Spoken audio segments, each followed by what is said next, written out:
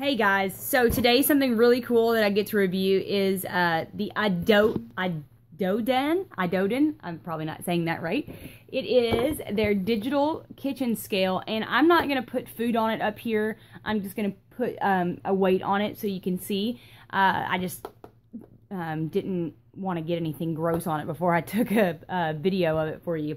Uh, so the thing I love the most is that this scale comes um, packaged ready to go except for two A uh, AAA batteries which comes in the package but all you gotta do is stick them into the scale and it turns on just like that and it's ready to go so this is the nifty little scale um, it's uh, chrome up top and you know it's it's not solid metal but it's it's strong I think it's suitable so it will work um, it's freaking out right now because it's upside down but the back is plastic, and this is where you put the batteries in.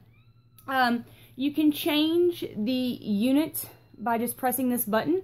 And uh, I'm going to actually do that for you now. Uh, so you can see what I'm talking about. So if you, I'll turn it this way. If you just press, I'm going to put it down too. If you press unit, it'll change the, um, like this is now milliliters, this is grams, this is pounds. So it gives you options, and this is pounds and ounces. So it gives you lots of different options. Um, it also has um, the, the power on and off button, so it is a nice solid product that I think you will uh, really enjoy, especially if you're trying to diet and you're really watching your uh, weight and what you eat. So I am going to um, take this camera and kind of point it down so you can see the scale. Let me back the scale up for you.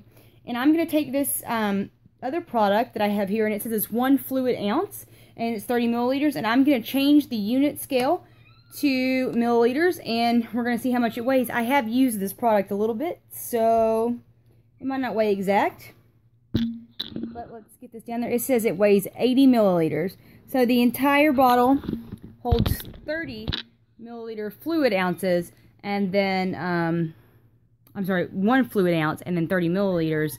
Uh, and my scales tell me the whole bottle and product itself weighs 80 milliliters. Um, I think, again, for someone who wants to diet, this is a perfect, perfect item. And I don't think you can go wrong with it. So um, I'm going to give this a solid five stars. And I'm going to show it to you one more time. I'm going to give it a solid five stars excellent product. It looks good. It's easy to put together. And that's all you can ask for. Thank you so much.